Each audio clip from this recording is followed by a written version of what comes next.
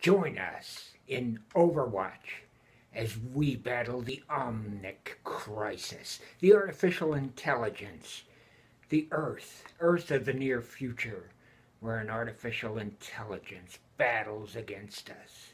Join us. Join the team. Two teams, six players each, and try to win.